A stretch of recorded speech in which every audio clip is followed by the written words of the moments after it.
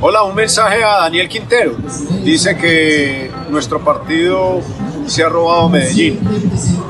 Lamentable concepto de un alcalde que no ha mostrado sino la intención en todo momento de ser provocador.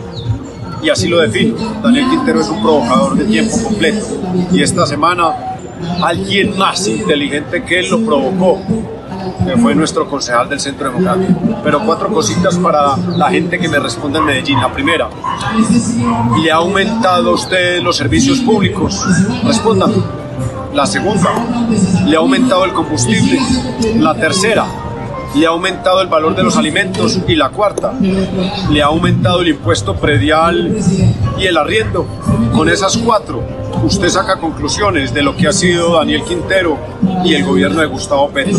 Y lo defino con dos palabritas, izquierda descarada. Vamos a ganar el 29 de octubre, ganémosle a Daniel Quintero, derrotemos a Quintero. Chao.